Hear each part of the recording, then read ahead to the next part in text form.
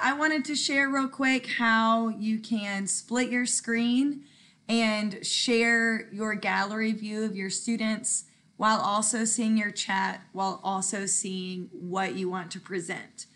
Um, so let's say you have your Teams meeting window. You click the top of the window and just drag it over to one side of your screen and it snaps in place.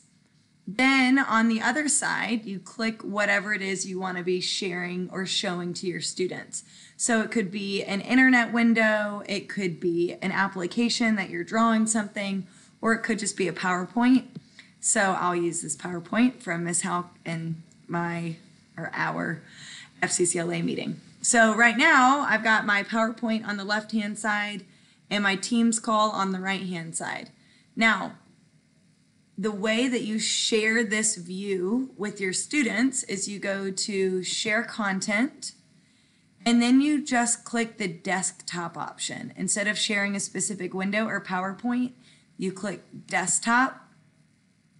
And now you'll notice there's like a red ring around your screen and the PowerPoint's still on the left.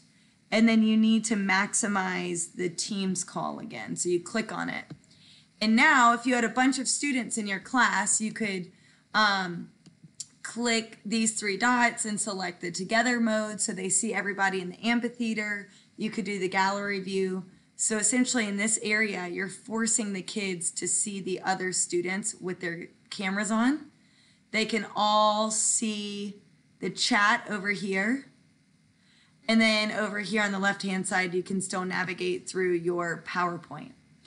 So this has been the easiest way that I've realized or discovered to share presentation, students actively engaged, and the chat.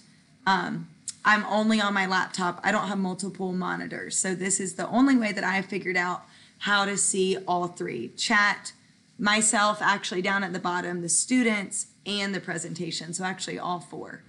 And you just have to be careful because in this mode, um, anything in the screen is viewable. So you could like pull up, you know, your internet and accidentally have Infinite Campus up with kids' grades. So you just have to be careful um, that everything you're showing on your screen is appropriate for students to see.